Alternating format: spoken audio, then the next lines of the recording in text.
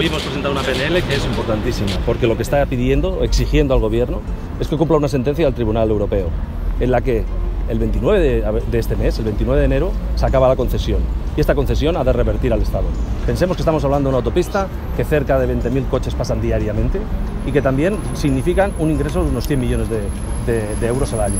Eso, lógicamente, nosotros entendemos que forma parte de un dinero que corresponde al Estado. La motivación que nos llevó a presentar esta proposición no de ley es doble.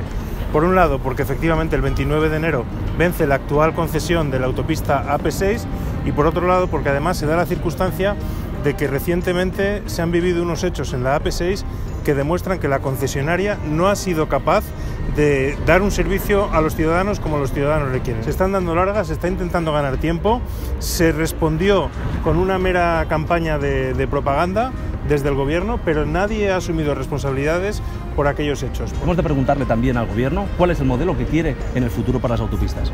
Nosotros planteamos un, modelo muy claro, que es el de la viñeta. Entendemos que eh, todas las autopistas y vías rápidas del Estado tienen que tener una misma, una misma gestión y esa función que, la está defendiendo también la Unión Europea es la que defendemos nosotros. ¿no?